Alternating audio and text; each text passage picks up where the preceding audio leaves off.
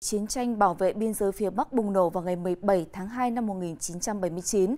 Trong cuộc chiến này không chỉ những người lính là người duy nhất xông ra trận tuyến, còn có một lớp người thầm lặng.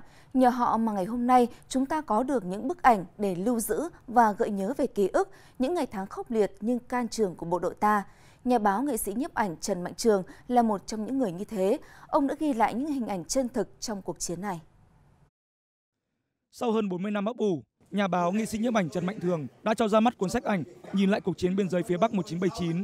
Cuốn sách là cái nhìn tổng quan về cuộc chiến biên giới phía Bắc năm 1979, bao gồm những bức ảnh đầy cảm xúc về tinh thần đoàn kết chiến đấu anh dũng, ngoan cường của quân và dân các dân tộc biên giới Cao Bằng, về tội ác của quân xâm lược và cả những hình ảnh chiến thắng vẻ vang của quân dân ta. Năm 1979, khi nó xua đến 60 vạn quân sang, và lúc bây giờ chúng ta chỉ có bộ đội địa phương, dân quân tự vệ nhưng chúng ta đã chiến đấu rất rất dũng cảm. Tôi muốn nói rằng cuộc chiến tranh đấy là vô cùng man rợ. Thế nhưng mà tinh thần chiến đấu của quân đội ta thì vô cùng dũng cảm. Được sự ủng hộ của nhân dân các cái tỉnh biên giới và đặc biệt là các đồng bào bộ đội ở ở miền xuôi.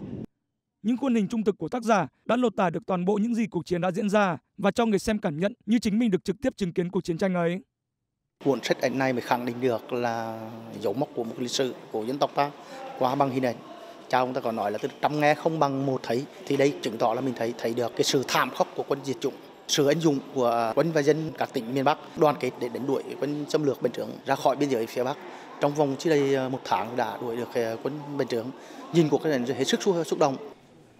Cuốn sách không nhằm mục đích kinh doanh mà chỉ góp phần tri ân với các cựu chiến binh đã từng trực tiếp tham gia cuộc chiến đấu bảo vệ biên giới phía Bắc, đồng thời cũng mong muốn gửi thông điệp hòa bình và hữu nghị đến công chúng quan tâm đến cuộc chiến này.